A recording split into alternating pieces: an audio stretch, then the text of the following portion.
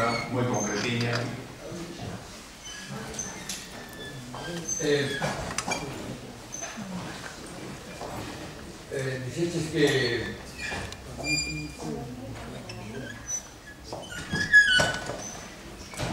que Pedro Madura finalmente morreu seis anos depois, por 85 fora de Galicia. Eh, se sabe, porque eso es una cosa un poco oscura que, que ha sido discutida, porque ahí entró ya una leyenda de si después se huye a Portugal y se transforma en otro personaje. O sea, ¿está documentado realmente la muerte de Pedro Madruga? Bueno, esa pregunta esperaba eu. Si, si, si, si Pedro Madruga foi Colón.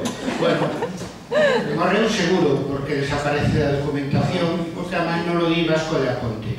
Vasco de Aponte eh, era, un, era un letrado coruñés criado de dos Andrade, pero o seu ídolo era Pedro Madruga e todo o que ele non soubera Pedro Madruga que non existía.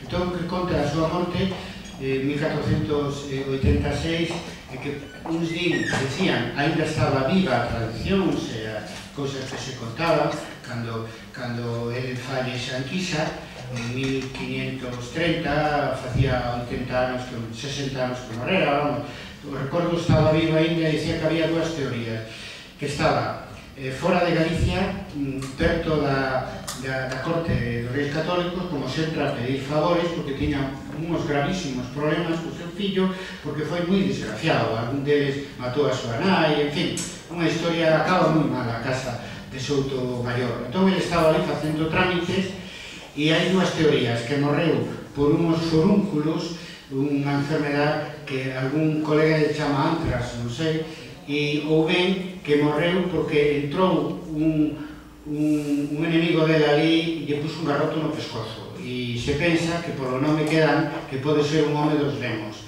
E Vasco da Ponte, que é unha persona fiable no uso dos datos, pensa que pode haber unha combinación dos dous, dos dous datos. De toda a maneira, se desaparece da, da, da, da documentación eh, e, e bueno, eh, con, xa digo, con unha herdanza que deixou moi mal porque hai outro Pedro Soto Mayor que é condenado a morte pola, pola asesinato da súa nai por un problema tamén de, de herencia e de, de patrimonio. O propio Vasco da Ponte remata dicindo e así acaba a casa de Soto Mayor acabou como toda a nobreza feudal, contra esa caballería feudal que en tempos modernos está fora de lugar e que acabaron pois, algúns como Pardo de Cera susticiado, e outros morto pois, su, de esa maneira como Pedro Madruga e outro con un exilio dorado na corte pero en fin, entrábamos a, na Galicia dos Pazos non da Galicia das Fortalezas.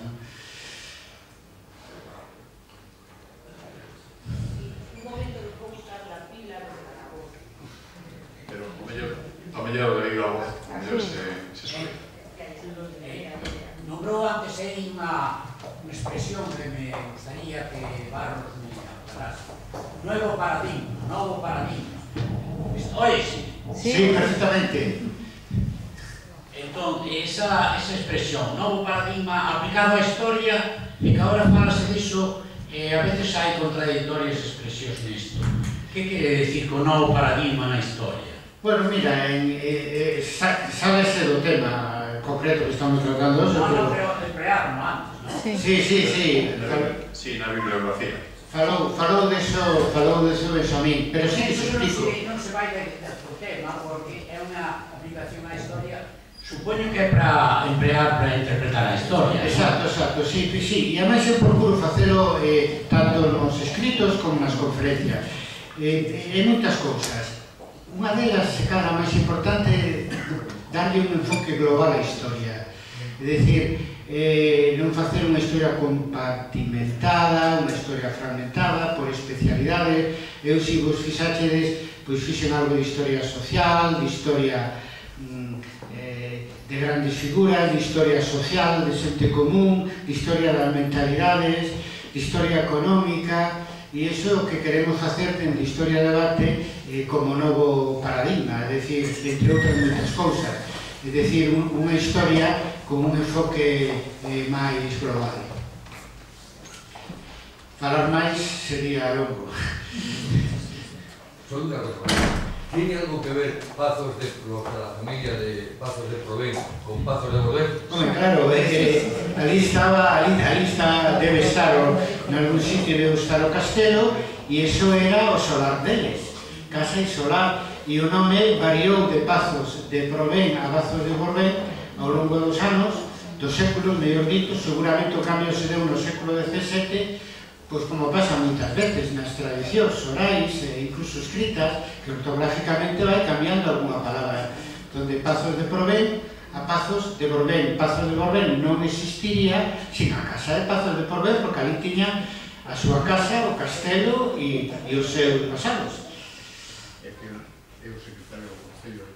poi... Però non existe ninguna, ningún vestigio de la vía Ah, bueno, eh, tú, eres, tú eres do Concello de Pasos de Borbén. Sí. Bueno, eh, eu xa mandei un recado para vos a través de, de, de Gavillo que, que en algún sitio, teño alguna idea donde, donde a mellor en algún sitio pode haber restos. O que pasa é que as fortalezas sabedes. É dicir, cando se botan abaixo, é como unha casa de pedra bella. Se se fai ben ou se se fai unha cola non queda absolutamente nada. Pero non hai que excluir que podan quedar dos cementos algún resto. Non?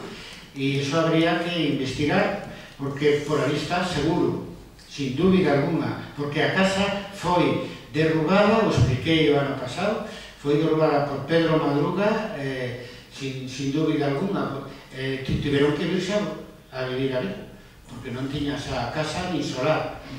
Foi unha das 20 casas que, según Felipe de la Gándara, eh, arruinou Pedro Madruga desta maneira, matando aos seus, as, as cabezas da, das diferentes liñaxes. Por ali debe estar. Hola, Carlos, boas noites. Moitas gracias pola magnífica conferencia que nos dexe. E queria xa facer dúas preguntas. Unha, acabamos de pisar agora o resto que era a connotación que poder haber entre Pazo de Borén e eh, Diego de, de Borén. Xa está claro. A segunda pregunta é unha que, cousa que dixaxe que era de dun historiador que dixo que eran eh, os vigueses eran os primeiros galegos españoles que utilizaban o arcabuz. Iso que, dicir que había galegos que consideraban que non eran españoles, o menos que eran de Alemillo, de, de Valencia, de... Non, non, de Camillo. Eu creo que quería decir os primeiros galegos e españoles que usaban o marcador. Ahora, eu eso teria que verificar, non acabo de, de estar convencido. Eso pois o escribiu o poeta Xoan Rodríguez de Padrón e o reproduxo e o ampliou Xoan do Campo, que é o que fixo no século XVI, final do século XVI, ao nobiliario dos pazos de, de Provén. Pero de seguro que, que en algún outro lugar da península chegaron os, eh, incluído Portugal, chegaron os arcabuces antes ou non. Non o investiguei, en, eh, non é difícil, non o investiguei. Pero tiñan ese orgullo, non? Ou desgracia, porque ao principio foi máis desgracia que orgullo, como xa sabemos, polos defectos que, que fixo o, o uso das armas de fogo por parte de Pedro Madruga non só respecto dos carabegueses, eh, en general o utilizaba para así pudo conquistar o, toda todo boa parte do Bispado de Tui e do sur de Galicia